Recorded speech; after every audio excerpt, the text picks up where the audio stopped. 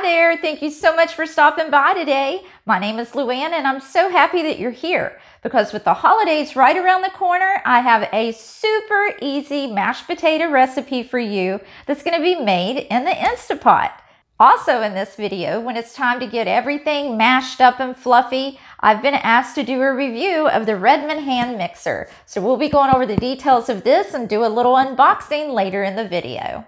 So if you're looking for a super easy mashed potato recipe that's not going to take up a lot of space on the stove or a lot of time, then be sure to stick around.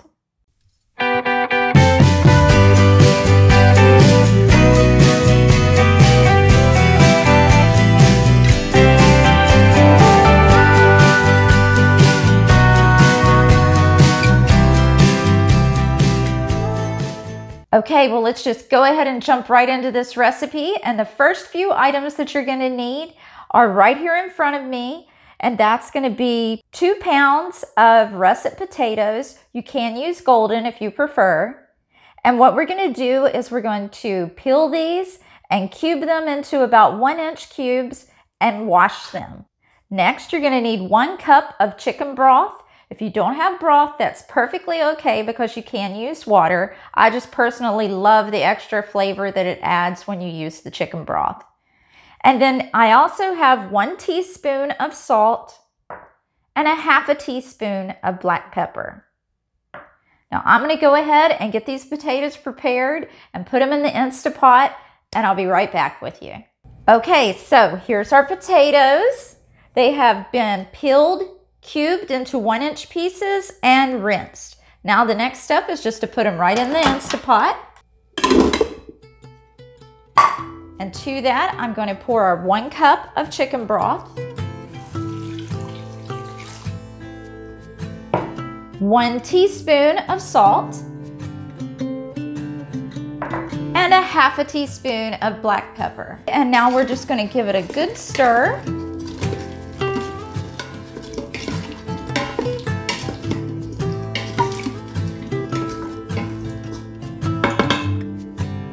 The lid back on.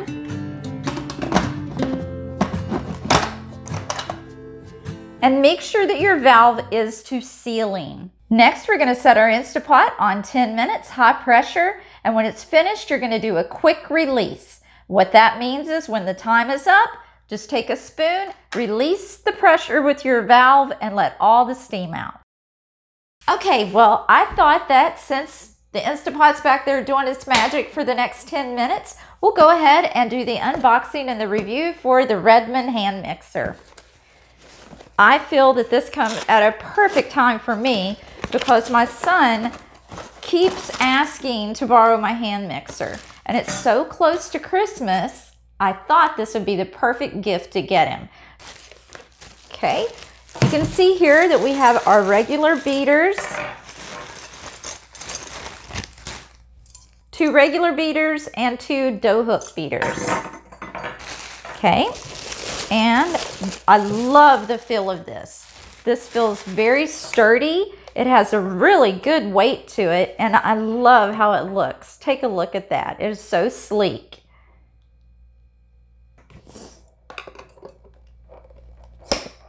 Okay, simple as that. This feels really good, and I can't wait to try it on these mashed potatoes. Well, in case you're interested in possibly getting a hand mixer for someone on your Christmas list, let me take just a couple minutes to tell you a little bit about Redmond and their products. The Redmond hand mixer is 5-speed with a turbo design, a one-button ejection design, and it also has a fast and efficient heat dissipation design.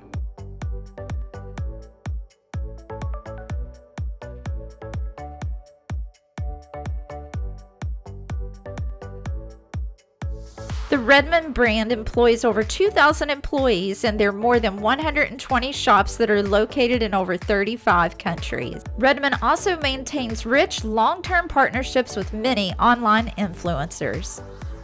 Redmond has over 150 patented products with high product performance and high quality after sales service. This includes strict product inspection at each production stage, free replacement for quality problems within one full year, and multi channel customer service over email, Facebook, and Instagram. Redmond has a worldwide reach with over 4 million families using Redmond equipment and sales of over 300,000 pieces in 2020 on Amazon.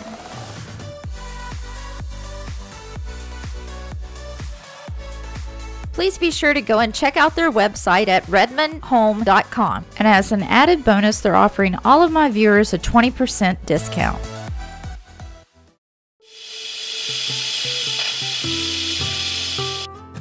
Okay, so now here are the final two ingredients in this delicious recipe, and that is a half a cup of butter. You heard me right, a half a cup is one whole stick of butter, and then one cup of warm milk. And the warm milk is the secret ingredient to having the creamiest mashed potatoes ever. So let's go ahead and grab those potatoes and start mixing our ingredients. At this point, we're gonna remove the lid And I can't even begin to tell y'all how delicious this already smells. There's something about adding that chicken broth that just really makes it smell and taste so much richer. Okay, now to start out with, we're gonna add the half a cup of butter. Okay. And then the one cup of warm milk. And like I said, the secret to the creamiest mashed potatoes is to use warm milk. And the next step we're gonna do is just to mash it with a potato masher. If you don't have one, that's just fine. You can go right into using the mixer. But whenever you take just a few minutes to do this extra step, they're gonna be even more creamy and delicious. Now this recipe does call for two pounds of potatoes. I actually use three because I like mine to be a little more firm with the option to add more milk or broth if I need to. So now that we got this mashed, now we're gonna get that Redmond mixer and fluff it up. Okay, y'all, I can't even begin to tell you how impressed I am with the power behind this hand mixer. This is one.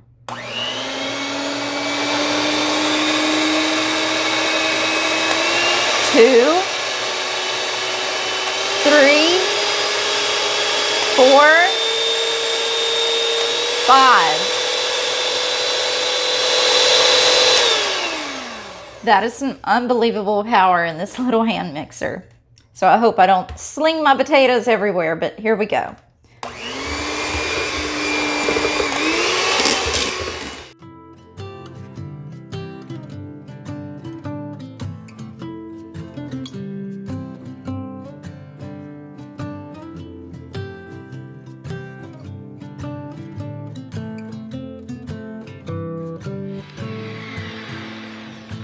Okay, well let's get this in a bowl and give it a good taste test.